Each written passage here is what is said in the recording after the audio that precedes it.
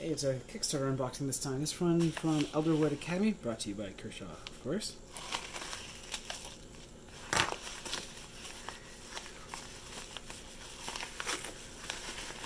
I don't remember how long ago we kickstarted this, but it's finally shipped, and so it's time to Um, beginning of the year, I think. show it off.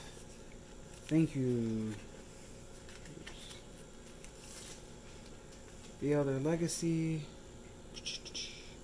We want you to love each Elderwood product as much as we do, and for your purchase to become an eternal totem of fun in your games. We stand by everything we create, so other Legacy is that we will replace, repair, refund any product anytime. Just reach out. And they give us a receipt of what we ordered so that it fits within the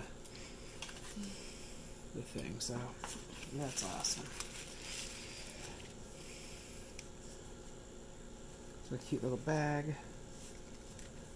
Oh, that's mine. So dragon with green writing or green scrolling, and then we get to watch Lance figure out how to open this. It's supposed to be magnet somewhere. Oh, there it is.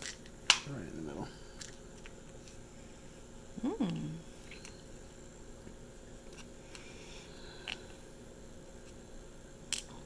Oh, this is not good. I don't know what went where. You have the triangle in the wrong place. you sure? There's a triangle here and a triangle here. no. Then. Oh. Maybe that's the percentile dice. Who knows?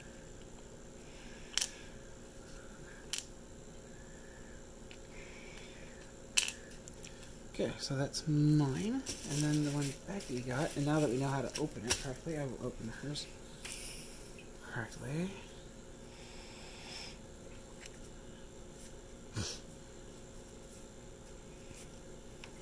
Ooh, purple with a sword and purple inlay, I guess.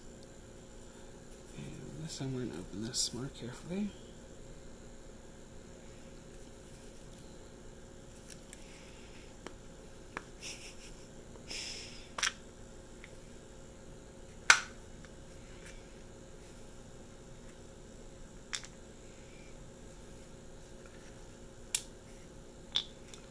Oh, that's hilarious. They don't even have the triangle and the triangle, so.